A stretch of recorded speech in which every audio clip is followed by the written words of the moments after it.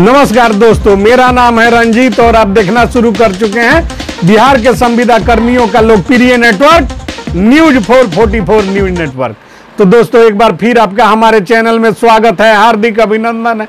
तो दोस्तों, आज की जो महत्वपूर्ण खबर है, वह बिहार के त्रिस्तरीय पंचायत राज प्रतिनिधि और संविदा कर्मियों से सरकार के बीच टकराव की स्थिति उत्पन्न हो गई है। उससे जुड़ी सारा अपडेट हम आपको देने जा रहे हैं। उससे पहले यदि आप चैनल पर नए हैं तो चैनल को सब्सक्राइब, वीडियो को लाइक और ज़्यादा से ज़्यादा शेयर कर दीजिए।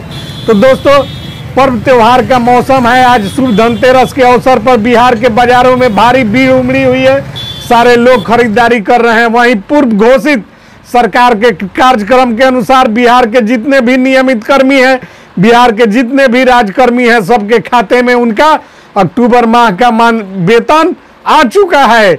राजकर्मियों को जो है कि उनका महीना, उनका वेतन, उनका जो भी पैसा है, वह सरकार ने जो है कि पूर्व में ही घोषित कर चुकी थी कि 20 तारीख तक उनके खाते में पहुँच जाएगी और पूर्व नियत समय के अनुसार राजकर्मियों का वेतन उनके खाते में आ चुका है और ये लोग जमकर खरीदारी करने में व्यस्त है, मशगूल है।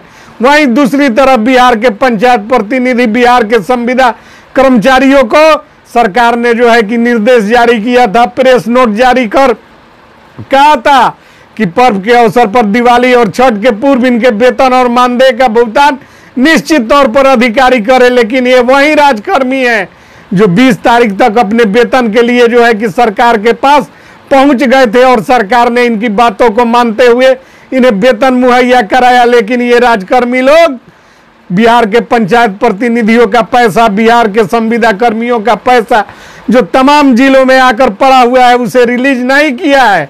इसको लेकर जो है कि बिहार के तमाम संविदा कर्मी संगठनों ने इसकी कड़ी निंदा की है और बिहार के पंचायत राज प्रतिनिधियों के द्वारा इस कृत्य का निंदा किया जा रहा है और सभी के द्वारा जो है कि पुरजोर तरीके से इसकी निंदा की गई है कि बिहार के राजकर्मी लोग जो खुद स्वयं अपने मानदेय और वेतन के लिए सरकार के पास पहुँच जाते हैं और दस रोज पूर्व ही अपने वेतन का भुगतान करवा लेने का काम करते हैं, वही लोग जब उनके हाथों संविदा कर्मी और पंचायत राज प्रतिनिधियों के वेतन भुगतान की बात होती है तो वे लोग जो है कि चुपी साध लेते हैं, मौन साध लेते हैं और वेतन का भुगतान नहीं करते हैं। पर्व और त्योहार को कुछ भी समझने का काम ये राजकर्मी लोग नहीं करते हैं। वहीं दूसरी तरफ़ बिहार के मुख्यमंत्री ने जो है कि आज फ़सल क्षति योजना के तहत बिहार के 11 जिलों के लाखों लाभुकों के खाते में पैंतीस सौ राशि भेजने के कार्यक्रम का शुभारंभ कर दिया है।